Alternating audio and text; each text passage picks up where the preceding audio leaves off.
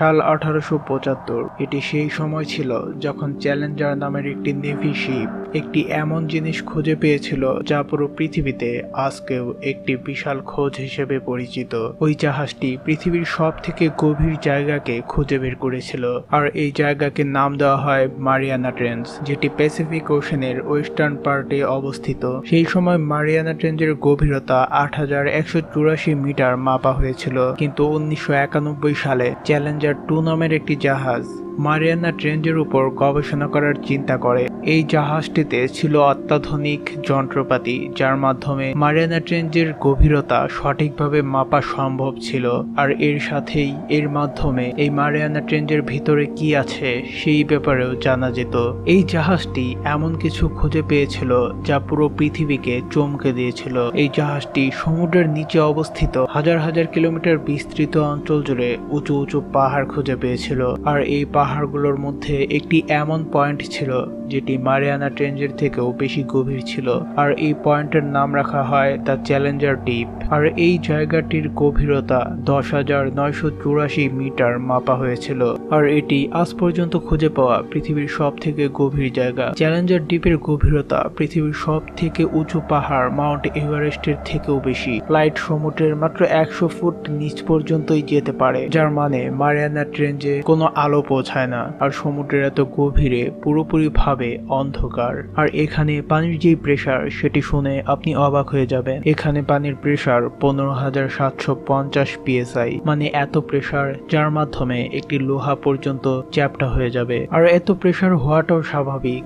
কেননা চ্যালেঞ্জার দ্বীপের উপর কোটি কোটি টন পানি অবস্থিত। আর এই কথাটি বলা একদমই স্বাভাবিক হবে যে চ্যালেঞ্জার দ্বীপ পৃথিবীর সব থেকে ভয়ঙ্কর এবং ডেঞ্জারাস জায়গা। কিন্তু এরপরও দুইজন ব্যক্তি এই জায়গা পর্যন্ত পৌঁছাতে সফল হয়েছিল, কিন্তু তাদের এই সফর রহস্যময় ঘটনা দিয়ে ভর্তি ছিল।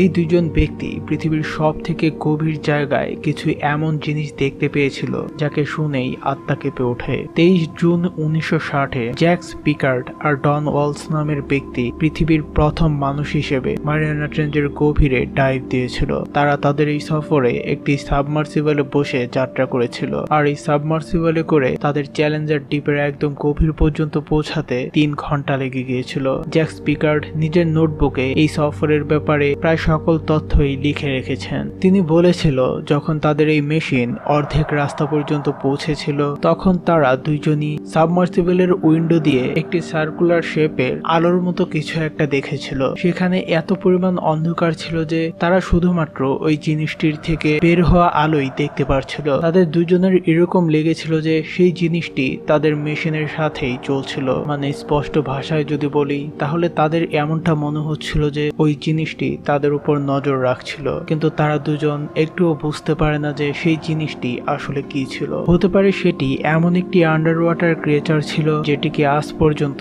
কোনো মানুষ খুঁজেও পায়নি। শুধু এটুকুই নয়, তারা একটি এমন ঘটনার ব্যাপারেও লিখেছেন যে ঘটনাটি তাদের দুজনকেই অনেক ভয় পাইয়ে দিয়েছিল। তাদের কথা অনুসারে একটি সময় তারা তাদের মেশিনের বাইরে থেকে মেটালের অনেক ঘন ঘন আওয়াজ শুনতে পারছিল। এমন লাগছিল যে তাদের মেশিন কোনো একটি জিনিসের সাথে বাড়ি খাচ্ছে অথবা কোনো একটি জিনিস তাদের মেশিনটির ক্ষতি করছিল। যখন তারা তাদের মনিটরের দিকে তাকায়, তখন তারা একটি বড় ছায়া দেখতে পারে। সেই ছায়াটি দেখে এমন মনে হচ্ছিল যে সেটি কোনো একটি ক্রিয়েচার হবে। হতে পারে সেটি কোনো ড্রাগন, তবে এমনটাও হতে পারে যে তারা সেই ছায়াটিকে দেখে কোনো ভুল জিনিস কল্পনা করেছিল। কেননা তারা এমন একটি কন্ডিশনে ছিল যেখানে ব্রেন অনেক ধরনের অদ্ভুত জিনিস কল্পনা করে নেয়। এই যাত্রা বছর আগে বিজ্ঞানীদের এই ব্যাপারে পুরোপুরি বিশ্বাস ছিল যে মারিয়ানা ট্রেঞ্জের মতো গভীর আর ভয়ঙ্কর জায়গাতে কোনো প্রাণীর বসবাস অসম্ভব। কিন্তু যখনই তারা দুইজন চ্যালেঞ্জার দ্বীপের গভীরে পৌঁছেছিল, তাদের ঠিক সামনে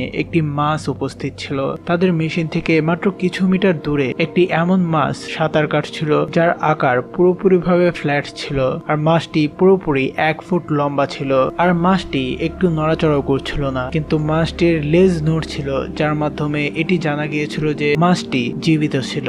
তারা দুজন সম্পূর্ণ অবাক হয়ে গিয়েছিল যে সমুদ্রের এত গভীরে যেখানে কোটি কোটি টন পানির প্রেসার রয়েছে, যেখানে কিনা লোহা পর্যন্ত বাঁকা হয়ে যায়, সেখানে একটি মাছ কীভাবে জীবিত থাকতে পারে? আর এই মাছের উপর তার কোনো প্রভাবও ছিল না। আর ওই মাছটি দেখতেও অন্য কোনো মাছের মতো ছিল না, বরং একটি অদ্ভুত ধরনের মাছ ছিল। একবার চিন্তা করুন, সেই মাছের স্কিন সেলস কীরকম হবে? যে স্কিন সেলস কিনা এত প্রেসার সহ্য করতে পারে। আর এই মাছের চোখও কতটা অস্বাভাবিক ছিল যে এত অন্ধকারের মধ্যেও সেই মাছটি দেখতে পারত। আনফর্চুনেটলি যদি মানুষ ওই মাছের ব্যাপারে কিছু জেনে থাকে, তাহলে সেটি শুধুই তার আকার। কেননা তারা দুইজন সেখানে মাত্র বিশ মিনিটের জন্য ছিল, আর তখনই তাদের সাবমার্সিবলের আউটার গ্লাস ভাঙতে শুরু করেছিল, যার কারণে তারা তখনই উপরের দিকে এসে পড়ে। যখন সাবমার্সিবলটিকে পানির উপরে নিয়ে আসা হয়, তখন তারা এটি দেখে অবাক হয়ে গিয়েছিল যে তাদের সাবমার্সিবলে লাগানো মেটালের অনেক খারাপ ভাবে ক্ষয়ক্ষতি হয়েছিল। সেটিকে দেখে এমন লাগছিল যে, কোনো একটি বিশালাকার দানব ওই সাবমার্সিবলটিকে চাবানো শুরু করেছিল। এই ঘটনার পর পুরো পৃথিবী জুড়ে এই প্রশ্ন উঠে যে, পৃথিবীর সব থেকে গভীর জায়গাতে আসলে কি ধরনের প্রাণী বসবাস করে? এই ঘটনা তখন পুরোপুরি ভাবেই জানা হয়ে গিয়েছিল যে, মারিয়ানা ট্রেঞ্জের মতো গভীর অঞ্চলেও প্রাণের অস্তিত্ব রয়েছে। আর ওই সাবমার্সিবলের ঘটনাটির পর এই ব্যাপারটিকেও কোনোভাবেই মিথ্যা বলা যাচ্ছিল না যে চ্যালেঞ্জার দ্বীপে হয়তো আমাদের কল্পনার থেকেও বড় বিশালাকার জীবের বসবাস রয়েছে।